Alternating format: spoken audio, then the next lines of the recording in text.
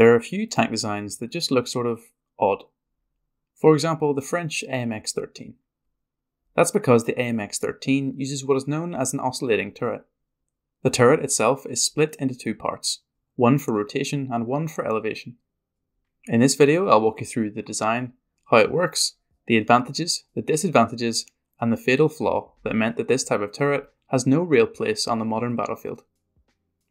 Conventional tank turrets work as follows. The turret is mounted on a turret ring, which is set into the hull of the vehicle. The turret can rotate 360 degrees in this ring. The gun is mounted onto the front of the turret in such a way that it can pivot up and down, rotating around the mounting point. This means that the gun can be pointed in any direction by rotating the turret and can be elevated or depressed in order to aim at something above or below the tank. This has been a system used on the vast majority of armoured fighting vehicles, from the FT 17 to the M1 Abrams. An oscillating turret achieves rotation and elevation in a very different way. Firstly, the turret itself is split into two parts. The lower turret, sometimes called the collar, works the same as a conventional one. It engages with the turret ring and can spin 360 degrees, providing the rotation. The upper turret contains the entire gun, and importantly, the gun is fixed to this upper turret and cannot elevate or depress on its own. Instead, to aim the gun, the entire upper turret pivots up and down, rotating around trunnions set into the lower turret. But this seems quite complicated, right? Right. But it does have some pretty huge advantages. Firstly, it means the turret ring can be smaller. You have to remember that the visible gun poking out of the tank is only part of the assembly. Inside the turret, you have the large, blocky gun breech that the loader puts the shells into. So when the gun is elevated, i.e., pointing up, the breech drops down, and in a conventional turret, the turret ring has to be large enough to allow the breech to drop through it. On an oscillating turret, this is no issue. When the upper turret pivots to elevate the gun, the pivot point is much farther back, meaning the breech drops a smaller distance, and so you can get away with a smaller turret ring and by extension, a smaller turret. The turret ring diameter is also a huge driver in how wide a vehicle has to be, so using an oscillating turret means you can mount a big gun on a small tank, as is the case with the AMX 13. When a conventional turret aims upward or elevates the gun, the breech sinks down into the turret ring. If the gunner aims down or depresses the gun, the breech rises, and the gun depression of the vehicle is usually limited by how far the breech can rise before it hits the roof of the turret. Gun depression is an incredibly important feature, as vehicles with more gun depression can expose a lot less of their tank when shooting over hills and other terrain. Again, by mounting the gun rigid inside the upper turret, oscillating turret vehicles don't have this issue, and usually have quite good gun depression as a result, limited more by physical features such as the shape of the lower part of the turret, or the gun hitting the hull of the tank itself. In terms of gun depression and elevation though, these vehicles do have a disadvantage. The breech may not hit the turret ring, but the rear of the turret itself can hit the engine deck when elevating the gun. You can see this clearly on the AMX 13. The gun can't actually elevate all that much because the turret bustle would strike the rear of the hull. To combat this and maximize elevation and depression, oscillating turrets try to mount the gun as high as possible in the upper turret. This comes with its own pros and cons.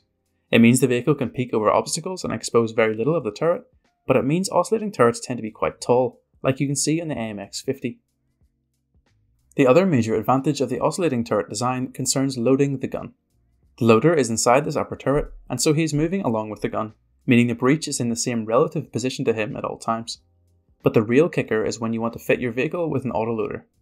The autoloader is a device that automatically takes rounds from the ammunition stowage and rams them into the gun breech, and this works fine in conventional turrets, as long as the gun is completely level at 0 degrees elevation, or what is known as the index position.